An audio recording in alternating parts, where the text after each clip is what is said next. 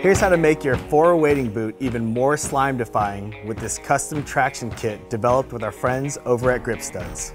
Engineered specifically for the rugged Mars outsole of the Forra, this kit will give you greater traction on and off the river. The Grip Studs traction kit includes enough studs for a pair of boots and a tool for installation.